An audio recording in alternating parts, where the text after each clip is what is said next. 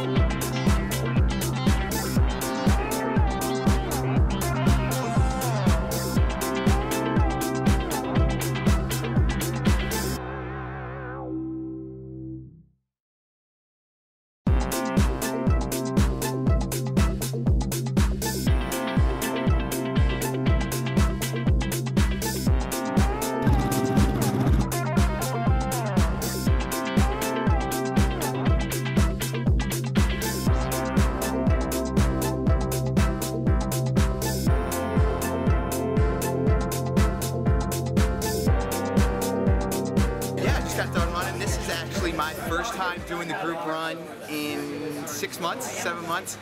I normally don't get the luxury because uh, my manager here, slash partner TJ, makes me work every Wednesday night. So This guy just ran the Vermont Marathon, Burlington City.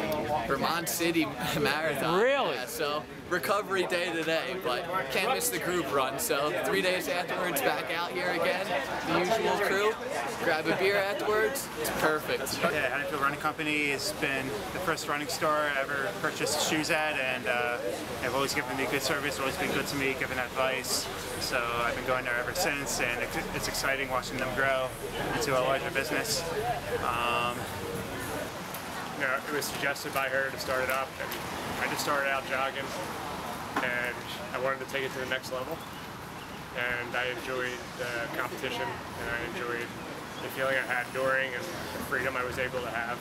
I experienced within myself. It's almost running is almost like a spiritual experience for me sometimes, more than as a sport. And it's just become, it's more than a hobby, it's a passion, it's a sport, and I like the lifestyle of it. So I, I enjoy doing it every day of my life. My family members shop here. My mom was coached by uh, Joe Palao. She knows Dave well. She knows TJ well. And Dave runs a great business, and I enjoy the products he sells. And I always come and get my shoes here and whatever supplements I need.